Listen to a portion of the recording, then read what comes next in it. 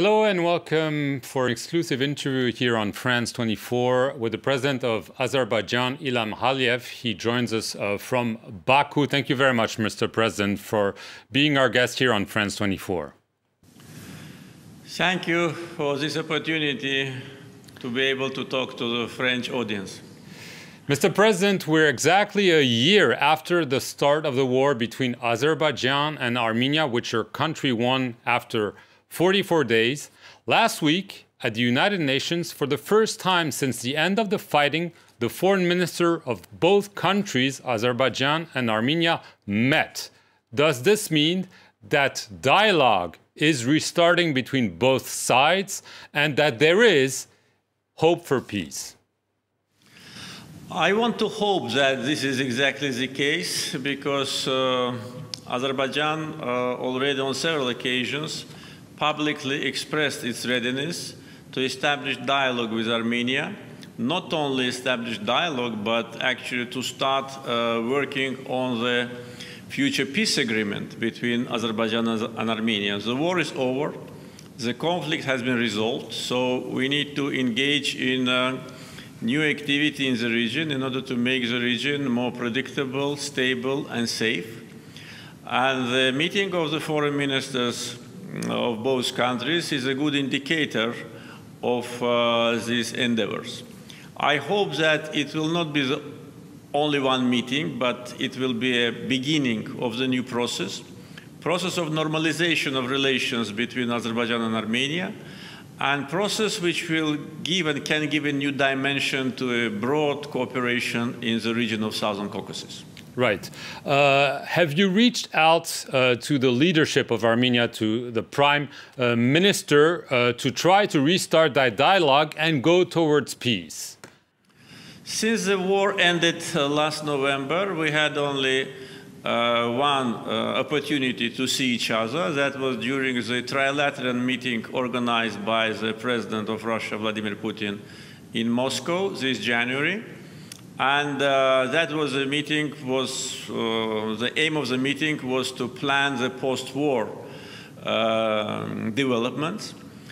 We didn't have any other chance to see each other, probably because of pandemic, probably because of some other reasons, but Azerbaijan never even during the war, uh, during the occupation, never objected any kind of high-level context. On the contrary, we think that these communications may uh, answer many questions which both uh, sides may have, and also to uh, be a starting point for the new development of the region. Our position is straightforward. We think that the conflict is resolved, there should be no return to uh, the past. There should be no signs of revanchism in Armenia. We need to talk about future. We need to talk about peace and how to make our region more stable and safe. Are you ready to call Prime Minister Pashinyan to tell him that precisely? Probably not the way how you suggest. Usually the contacts uh, between the leaders of two countries were organized under the umbrella of OSCE Minsk Group.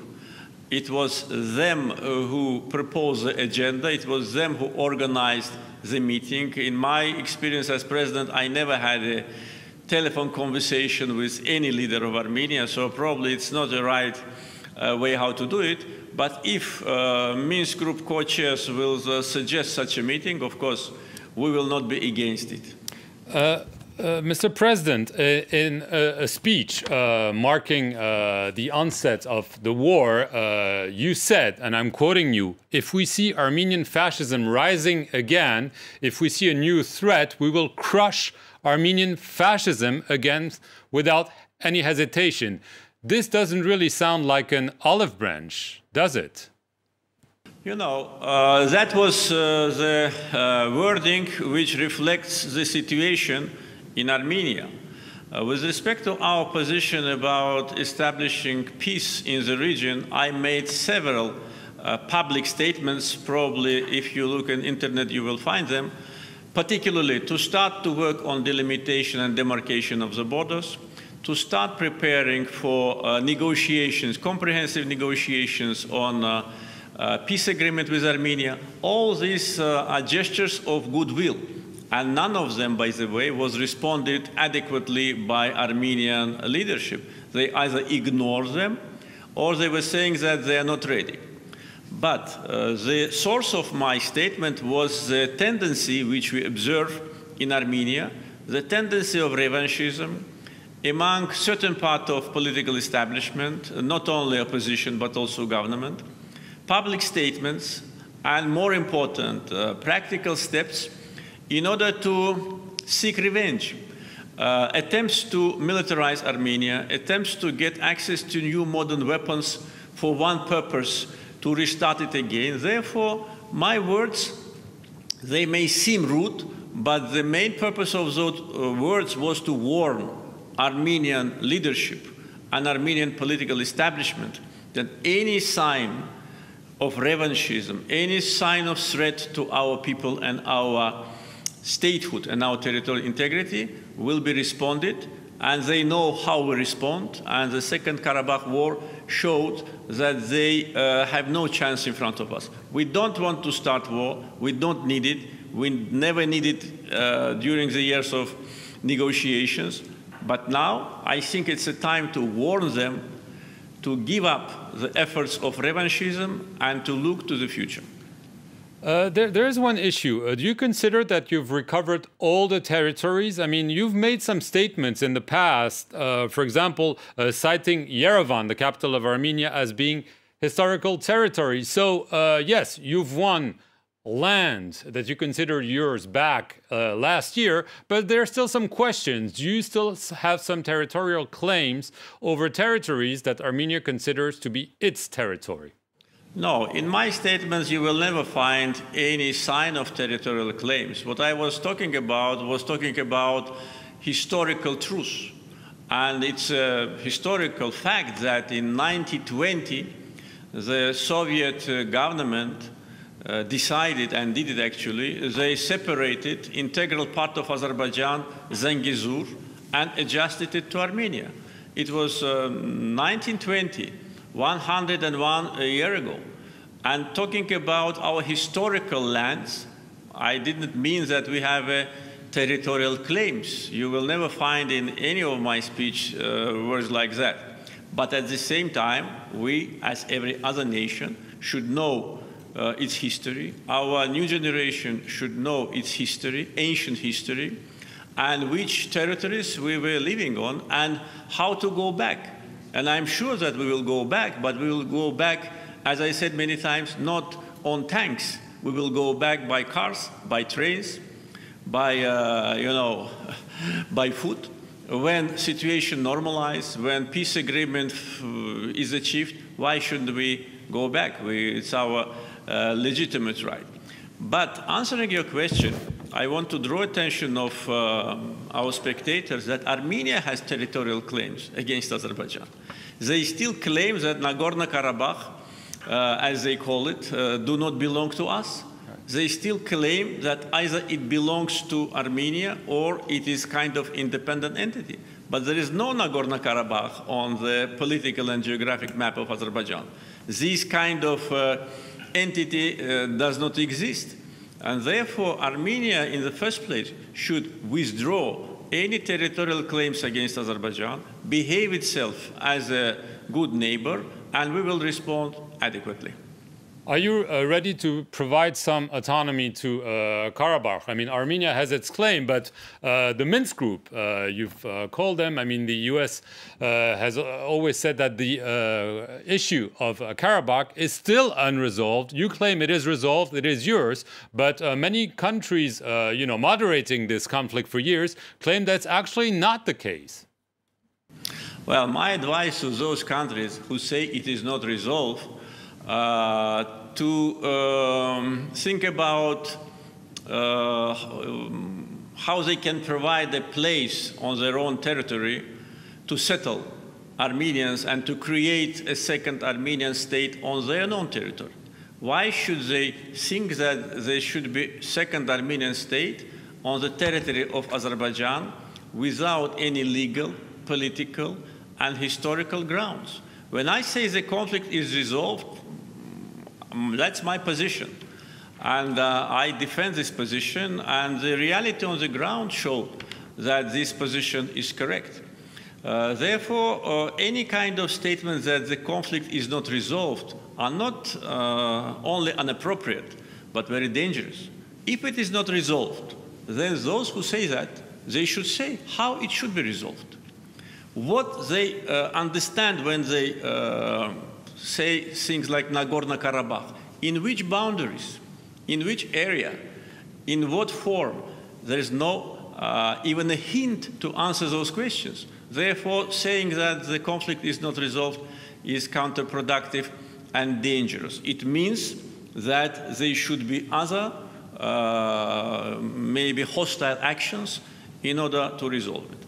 And coming to your question about the autonomy, uh, Minsk Group co-chairs know very well the position of Azerbaijan during the 28 years of useless negotiations that we were ready to uh, provide Armenians in Azerbaijan with a, a certain level of self, self-governance.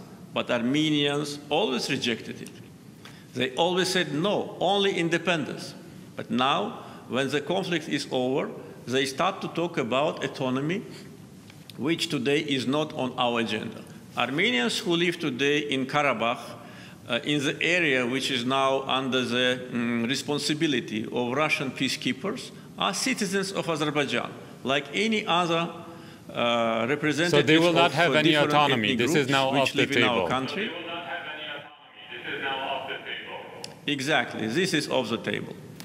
Uh, I, I- want to uh, get uh, to the position of, of France. I mean, France has criticized your actions, even uh, recently, uh, calling you to withdraw from some of Armenia's alliance. Do you consider France an honest broker?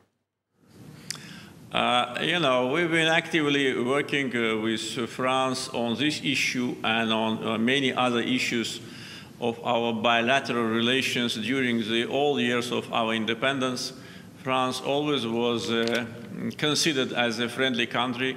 Uh, in Azerbaijan, we had uh, implemented a lot of uh, economic and trade projects, infrastructure projects, and relations developed uh, very successfully. And uh, we hope that as a honest broker, as a mm, co-chair of the Minsk Group, France will uh, be committed to this responsibility. If France uh, was not a co-chair of Minsk Group, of course, uh, any kind of relations between any countries are up to them. And we know about the historical ties between France and Armenia. We know about the very active Armenian community in France, which to a certain degree may influence uh, decision makers. But during the war, frankly speaking, France was not behaving as honest broker. France took sides, took side of Armenia, openly accusing Azerbaijan and uh, in its statements and actions uh, demonstrating one-sided approach. That was, uh, of course, a matter of concern, and we raised this concern because, uh, once again, I'd like to say, any country can have preferences, friends and not friends. It's up to them. We have nothing to say. But if a country has a mandate from OSCE to be mediator, in this case, the country should be neutral. Uh, I don't want to go back to what uh, happened during the war and right after.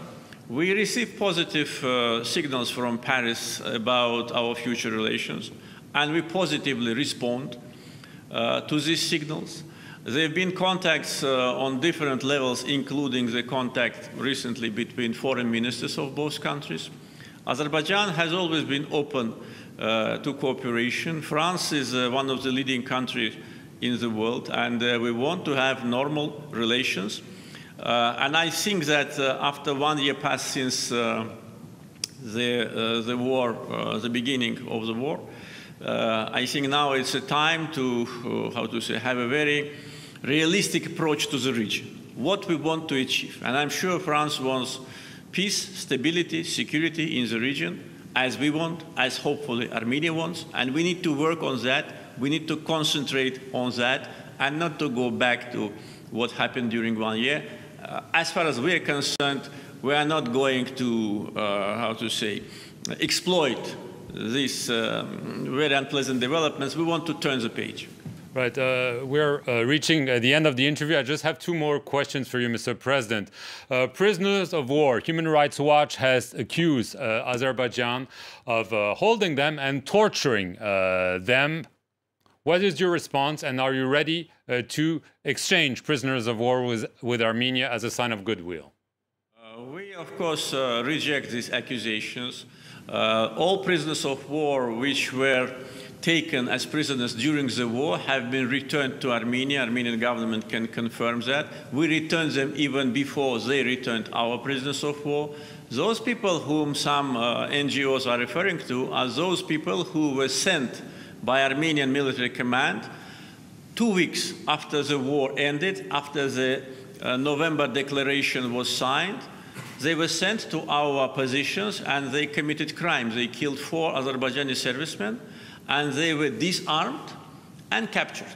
And many of them have already been returned. Those who did not participate in crimes, those who participated in crimes have been sentenced uh, by uh, justice. Uh, our justice. Uh, uh, but Armenia claims you still hold prisoners of, of uh, war, that court. you're not telling the truth. no, those who we hold according to classification, according to all the conventions, international conventions, cannot be considered as prisoners of war. Prisoners of war are those people who've been detained during the war.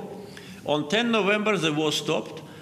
In the beginning of December, we find in the territory which we liberated 62 Armenian uh, members of sabotage group who have been sent there on the 26th of November.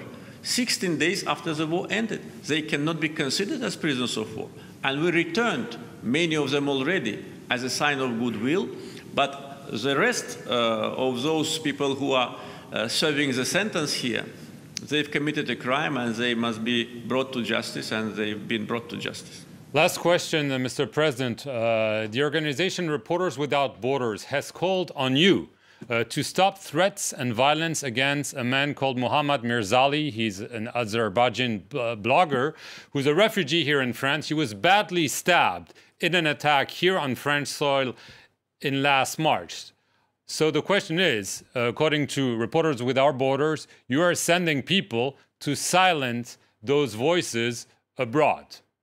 First of all, uh, we stopped any kind of uh, communication with Reporters Without Borders NGO many years ago. I think something like 15 years ago because of very biased position and a very uh, unjust approach to Azerbaijan. Therefore, their report actually means nothing to me and to Azerbaijani people. Uh, there are hundreds of people living in uh, Europe and also in France who do not like how we handle things in Azerbaijan. They live uh, in France, in other countries, and uh, nobody touched them if something happens to a person uh, which suffers in your country, it's up to the justice of your country to uh, investigate it. It's not a matter of NGO to accuse Azerbaijan of that. Does your uh, investigators so you deny any responsibility uh, on the attack on this attack? individual? Absolutely.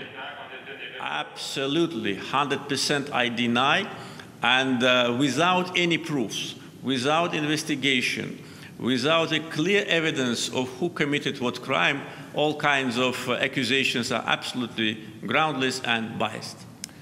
President Ilham Aliyev, I want to thank you very much uh, for appearing here on the France 24 interview, and thank you very much for watching it.